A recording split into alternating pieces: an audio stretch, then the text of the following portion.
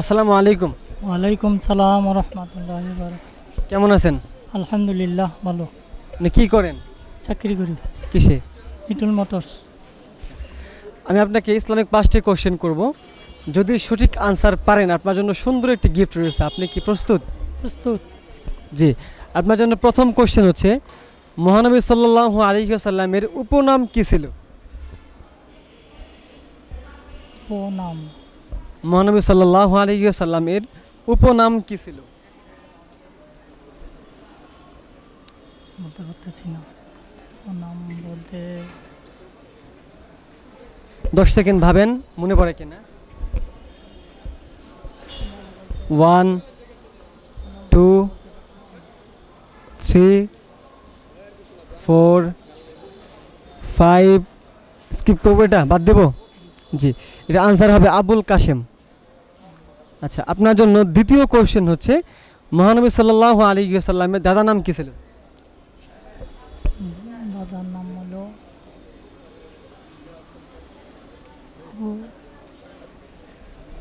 ভাবেন দশ সেকেন্ড ভাবেন সমস্যা নেই। মহানবী সাল্লাল্লাহু আলাইহি সাল্লামের দাদার নাম কি ছিল?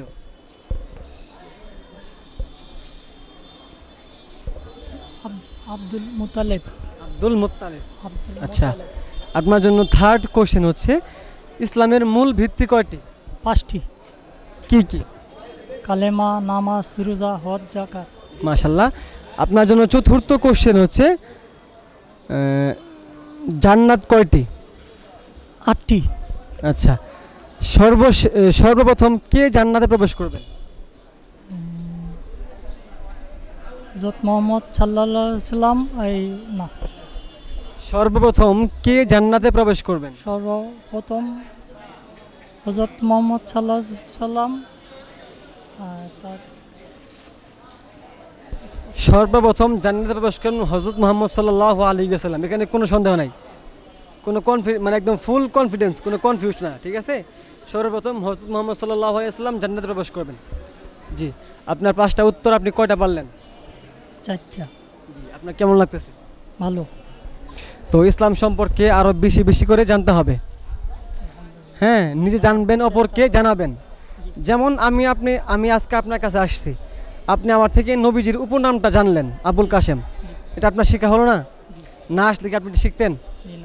তাহলে অবশ্যই ইসলাম নিয়ে অন্যের দায় যাইতে হবে। হ্যাঁ? নামাজ পড়েন তো ইনশাল্লাহ? জি। পাঁচ অক্ত পাঁচ শক্ত জি অবশ্যই পাঁচ অক্ত নামাজ পড়বেন। তো রোস্টিউনের পক্ষ থেকে আপনার জন্য ছোট্ট একটি গিফট আপনি খুশি তো? ইনশাল্লাহ। জি আসসালামু আলাইকুম। ওয়ালাইকুম সালাম